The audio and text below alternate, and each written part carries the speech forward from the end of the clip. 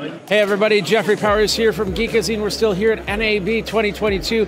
We're here at the Telestream booth. We're going to learn about Wirecast 15. We're going to learn about this little guy right here. It's the you can't see it; it's out of frame. Wirecast Gearbox. We're going to do that next. All right, so we have Mike here. How's it going, Mike? Not too bad. How are you doing? I'm doing great. So we're gonna well, first of all, we'll talk about the new Wirecast Gearbox because this is uh, going to be great for those that are really exploring into the 4K area for uh, for live streaming. And we'll talk a little bit about Wirecast 15. How's that? Oh, absolutely. So, uh, okay, I'll let you handle it, and let's let's let's go to it. Thank you. Sorry, I'm Mike Daskalopoulos, and I manage hardware products in the production streaming business unit here at Telestream. And I'm very proud to introduce our new line of streaming switcher appliances, Wirecast Gear 3. So, Wirecast Gear 3 is the next evolution of the Wirecast Gear family, uh, which has been uh, very successful. And uh, as you can see here, we've given it an all new look in a 2RU form factor with some very nice anodized handles uh, for rack mounting. Uh, as you can see on the other side here, uh, this which is the business end of this, we have the 4K SDI model, and here what we have is one, two, three, four 1080p, or sorry, or 4K 60 12G SDI uh, inputs, as well as a 1080p input here and a 1080p output here uh, for program monitoring.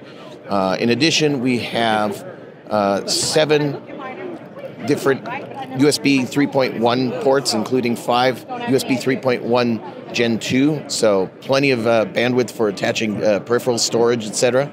And uh, one of the unique features of uh, Gear entire product line now has GPUs. So you have GPU acceleration of both encodes, of which you can do up to three at 4K 60, and effects such as chroma keys and titles and such, which uh, really help the uh, Gear unit uh, do its thing without burdening the CPU.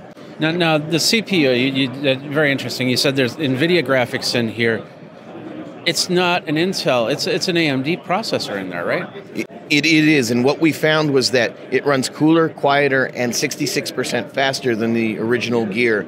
And that adds up to a really tremendous opportunity to actually get uh, gear into 4K production workflows and be able to do other things like, for example, run ProPresenter in the House of Worship market or run Teams in Zoom and, and be able to do all of this and still have room to, you know, to breathe actually without worrying about whether your machine is going to you know get to 100% or drop frames. So so which processor, which AMD processor is in there? Uh, this one is the Ryzen 5 5600X, 6 core, uh, 12 thread and uh, extremely powerful compared to the previous generation. Okay.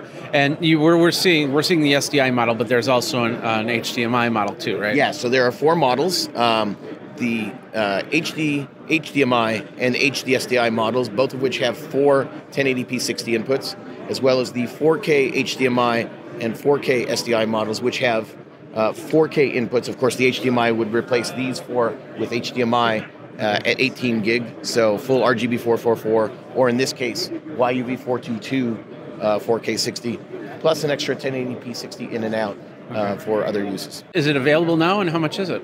Um, it should be available in May. Uh, it, the prices start at $74.95 for the HD HDMI model and go up to $99.95 for the 4K SDI model. Okay, and perfect for 4K. So, uh, great little box right there, the Wirecast Gear 3, correct? Correct. All right, so let's talk a little bit about Wirecast 15. Just came out uh, this uh, last week, or last, yeah, a couple weeks ago, yeah, something like that, yeah. So let's uh, let's head over here. Tell us a little bit about what the changes are. So Wirecast 15 uh, is our latest generation of Wirecast software. Um, the big announcement is performance improvements across the board, both for Mac and Windows, but Windows really is the big beneficiary because we have switched to DirectX 12 acceleration. And what we found is it actually creates a, an environment where it really de-stresses the CPU and GPU. And as you can see here, right? I have a 4K 60 SDI source, another 4K 60 SDI source, uh, 4K 30 SDI source, 4K 30 over NDI, uh, 1080p, uh, another 1080p NDI, effects, other things running. And as you can see here, the average CPU usage is still hovering around 12%. What that means is that uh, for any use that you're uh, you know making for real 4K production, uh, this is your box. And you can, unlike other solutions, mix and match uh, different resolutions and it will conform them all to your output. So we, we talked about uh, Windows stuff mostly, but uh, what about on the Mac side of things? Uh, what, what improvements have we seen?